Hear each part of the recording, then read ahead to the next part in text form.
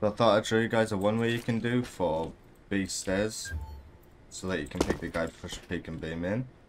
Come to the corner of this railing. Aim just underneath this black dot as you can see. Right.